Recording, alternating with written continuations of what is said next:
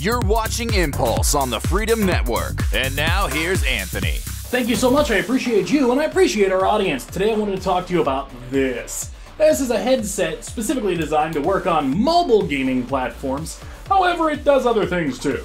This headset says that it's designed for PlayStation 4 and as you can see here, it comes with one of the a 1 8 inch Omni jacks, which will both handle your microphone and your speakers here.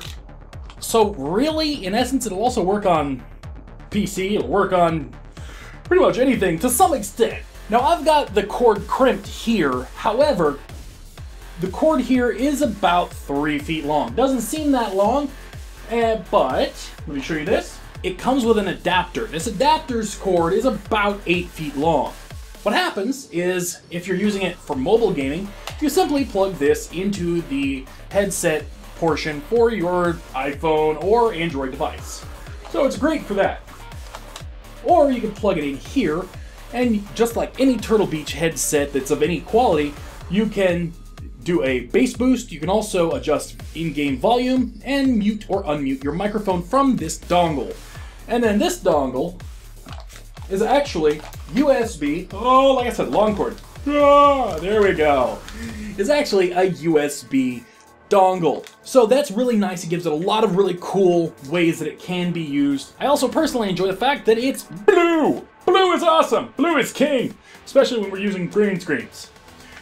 As far as the headset itself, when you move the microphone, you do get a really annoying clicking, which I'm not a huge fan of. However, once you get the main arm where you'd like it, repositioning the microphone itself is really easily easily done. But as you can tell, it's also very easy to trigger that clicking, which, like I said, is annoying. The ear padding is fairly soft.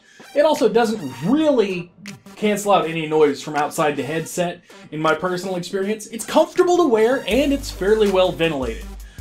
But, you know, like I said, outside noise kind of plays into a factor. Sound quality, as far as reproduction, I would place at about a 7. And as far as the microphone quality, putting it at about a 4.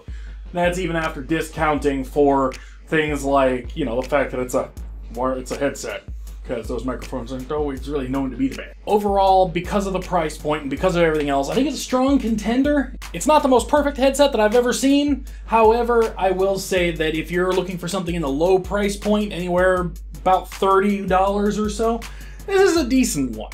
So just keep that in mind when you're out there buying. If you have any experience with this headset or any headset like it, let me know in the comment section down below and we will talk about it. Overall quality of the headset, I'd put it about a 6 or so. But that's after taking consideration that it's got a low price point.